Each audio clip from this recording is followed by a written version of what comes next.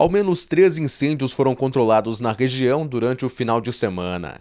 O primeiro deles aconteceu na sexta-feira à noite em Santa Isabel do Oeste. O fogo começou por volta das 11h30 e rapidamente tomou a casa de madeira da rua Guajuvira, localizada no bairro Alto da Colina. Uma moto que estava no interior do imóvel também foi atingida pelas chamas. O segundo registro aconteceu às 8h10 da noite de sábado, quando bombeiros de Campo Herê foram chamados ao Alto São Mateus, no local mais conhecido como bairro Chalito, em Marmeleiro, onde um mercado estava pegando fogo. Foram necessários aproximadamente 700 litros de água para controlar as chamas que tomavam o forro e o telhado do comércio, mas felizmente quase todos os bens foram salvos a tempo.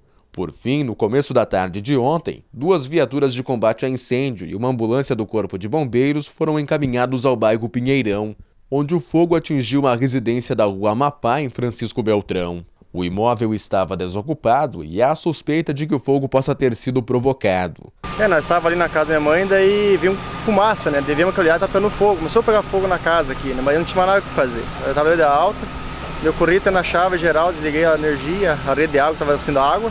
E mandei o vizinho do lado e jogando água dele para não passar para dele. Daí aqui foi mandar ligar para os bombeiros, tinham ligado já, o vizinho tinha ligado para o bombeiro. Foi muito alto, fogo ligeiro, rápido ali, em questão de minutos já tomou a casa inteira, não tinha mais o que fazer. A Polícia Civil investiga a possibilidade criminal no incidente com base nos apontamentos da criminalística.